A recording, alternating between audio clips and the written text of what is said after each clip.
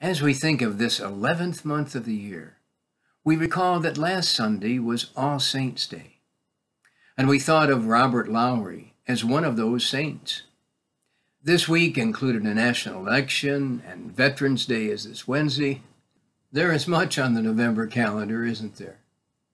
For us, on this second Sunday of the month, part of our worship service is going to include a focus on the stewardship of our talent, the abilities God has given us. In Genesis 12:2, God is speaking of the nation of Israel, saying, I will make of you a great nation, and I will bless you, and make your name great, so that you will be a blessing. Likewise, the various talents we have bring fulfillment to us, making us feel good doing the things for which we've been created. And those talents are meant to bless others as well. This month, of course, includes Thanksgiving Day. So as we prepare our hearts for worship now, you are invited to give thanks for your blessings.